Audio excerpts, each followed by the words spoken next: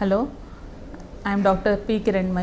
Senior consultant physician Physician, and thyroid specialist Specialist at hospitals Chandanagar ఇవాళ uh, కొంచెం మనం thyroid disorders గురించి uh, discuss చేసుకుందాం.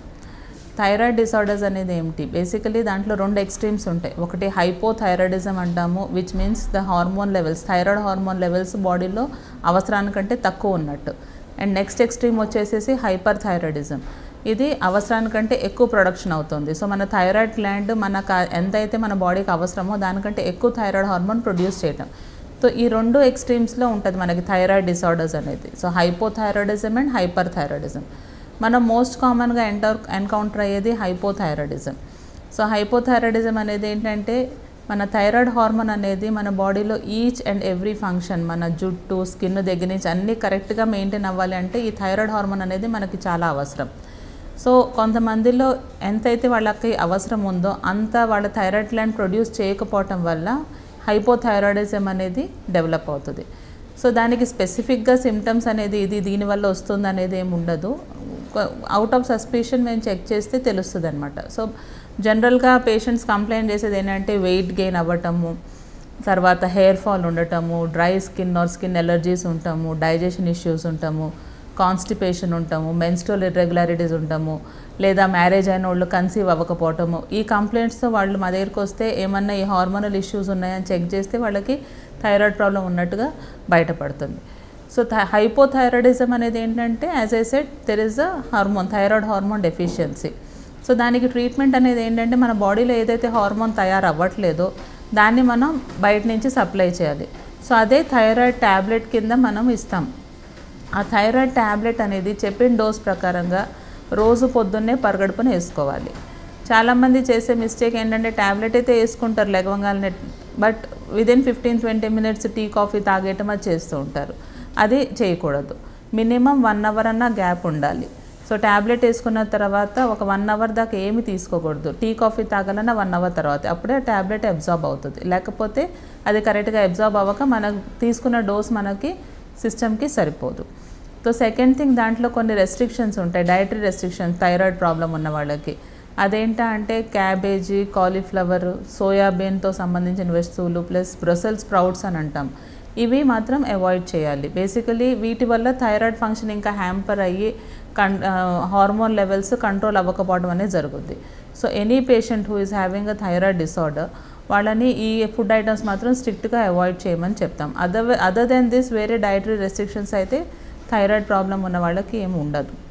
So second extreme వచ్చేసేసి hyper thyroidism ఈ హైపర్ థైరాయిడిజం అనేది ఏంటంటే దాంట్లో హైపోథైరాయిడిజంకి కాంట్రాస్ట్గా ఉంటాయి సిమ్టమ్స్ ఎందుకంటే ఎక్సెస్ ఆఫ్ హార్మోన్ అవుతుంది. ఇక్కడేమో హార్మోన్ తగ్గింది అక్కడేమో హార్మోన్ బాగా అవసరానికంటే ఎక్కువ ప్రొడక్షన్ ఉంది. సో దాంట్లో అయ్యేది ఏంటంటే వెయిట్ లాస్ అవ్వటము డైజెషన్ ఇష్యూస్ అంటే తొందరగా ఫుడ్ డైజెస్ట్ అయిపోయి ఎక్కువ ఆకలి అవుతుంది ఎపటైట్ మాత్రం చాలా ఎక్కువ ఉంటుంది బట్ వెయిట్ గెయిన్ అవ్వదు. లూజ్ మోషన్స్ అవ్వచ్చు డైజెషన్ ఇష్యూస్ వల్ల. ఈ మిగతా ఇంకా ఈ స్కిన్ ప్రాబ్లమ్స్ కానీ నీరసాలు ఒక్కొక్కసారి అది అన్నోటీస్గా వెళ్ళిందంటే హార్ట్ మీద కూడా దాని ఇంపాక్ట్ వచ్చి పేషెంట్స్ హార్ట్ ఫెయిలియర్లో కూడా వచ్చే రిస్క్ ఉంటుంది.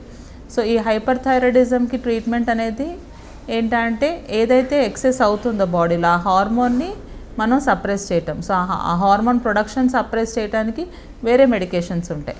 అవి అడ్వైస్ చేస్తాం. సో హైపోథైరాయిడిజంకి హార్మోన్ రీప్లేస్మెంట్ ఉంటుంది. హైపర్ థైరాయిడిజంకి ఆ ఎక్స్ట్రా ప్రొడక్షన్ని మనం సప్రెస్ చేసేటట్టు మెడికేషన్ వాడతాం. సో దీంట్లో కూడా ఏంటంటే రెగ్యులర్ ఫాలోఅప్ అనేది చాలా ఇంపార్టెంట్. మనం ఇచ్చే dose maximum eight to twelve weeks పనిచేస్తుంది. దాన్ని బట్టి మళ్ళీ పేషెంట్ టెస్ట్ చేసుకొని థైరాయిడ్ టెస్ట్ చేసుకొని వస్తే మనం వాడే మెడికేషన్ మనం వాడే డోస్తో ఎంత కంట్రోల్లో ఉంది? దాన్ని తగ్గట్టుగా మళ్ళీ ఏమైనా ఒక్కొక్కసారి డోస్ పెంచాల్సి వస్తుండొచ్చు ఒక్కొక్కసారి డోస్ తగ్గించాల్సి వస్తుండొచ్చు. దానివల్ల సిస్టమ్ మీద ఎఫెక్ట్ అవ్వకుండా మేనేజ్ చేస్తాం. సో హైపోథైరాయిడ్ ఉన్న వాళ్ళని కనీసం once in three months blood test చేసుకొని రమ్మని చెప్తాం. దాన్ని బట్టి వాళ్ళకి ఇచ్చే మెడికేషన్ అడ్జస్ట్ చేసి డోసు మళ్ళీ నెక్స్ట్ త్రీ మంత్స్ తర్వాత ఫాలోఅప్ అని అడ్వైస్ ఇవ్వటానికి ఉంటుంది ఈవెన్ ఈ హైపో హైపర్ థైరాయిడిజం ప్రెగ్నెన్సీలో కూడా చాలా కామన్గా అబ్జర్వ్ చేస్తాం. సో ప్రెగ్నెన్సీలో ఏంటంటే ఇంకా కొంచెం స్ట్రిక్ట్గా మేనేజ్మెంట్ ఉంటుంది. ప్రెగ్నెన్సీలో కనుక థైరాయిడ్ ప్రాబ్లం ఉన్న పేషెంట్స్కి వాళ్ళకి మంత్లీ ఫాలోఅప్ చెప్తాం. బికాజ్ బేబీ అనేది ఎమ్మటే కన్సీవ్ అవ్వగానే ఆ బేబీ నుంచి థైరాయిడ్ హార్మోన్ ప్రొడక్షన్ ఉండదు. సో ఆ బేబీకి సరిపోయే డోస్ కూడా మదరే తీసుకోవాల్సి వస్తుంది. So that baby brain development మీద mainly first three months organ development brain development ఉంటుంది కాబట్టి బ్రెయిన్ డెవలప్మెంట్ ఇంపాక్ట్ అవ్వకుండా మదర్కి మనం ఎక్స్ట్రా డోస్ ఇవ్వాల్సి వస్తుంది.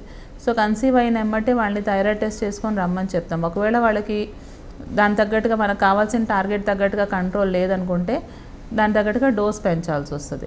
ఒకవేళ థైరాయిడ్ హైపోథైరాయిడిజం కంట్రోల్ లేకుండా ప్రెగ్నెన్సీ అట్లానే కంటిన్యూ కంటిన్యూ అయితే మెంటలీ రిటార్డెడ్ చిల్డ్రన్ బాన్ అయ్యే రిస్క్ చాలా ఎక్కువ ఉంటుంది.